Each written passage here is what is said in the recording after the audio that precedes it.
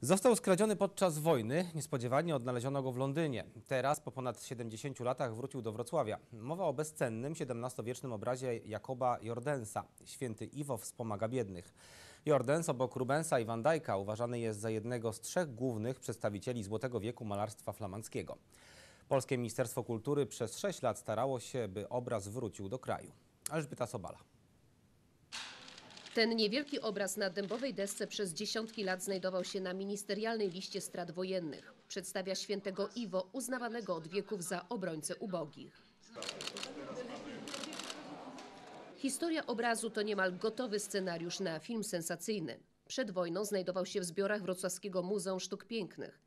W 1942 roku wcześniej konserwatorzy zabytków, spodziewając się zaostrzenia działań wojennych, podjęli decyzję o ewakuacji najcenniejszych zbiorów do kamieńca Ząbkowickiego.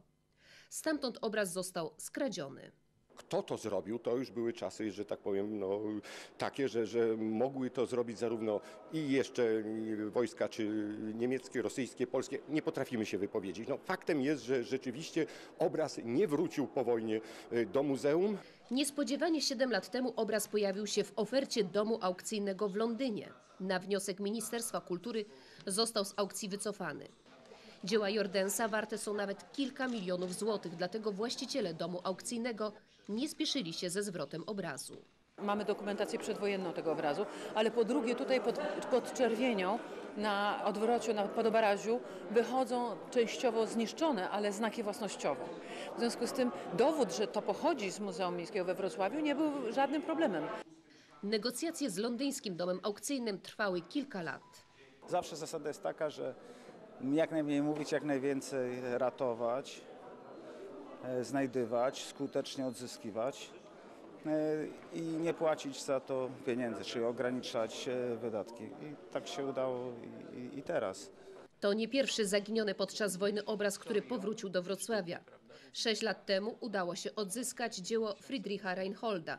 W ubiegłym roku obraz Oswalda Achenbacha. Choć od czasu ukończenia wojny mija 70 lat, okazuje się, że to wciąż za krótki czas, by rozwiązać problem odzyskania przez Polskę utraconych dzieł sztuki. Ich liczbę szacuje się na 63 tysiące. Dzięki działaniom Ministerstwa Kultury ostatnio do kraju powróciło 29. Trwają starania o zwrot kolejnych 50. Wrocław, Elżbieta Sobala.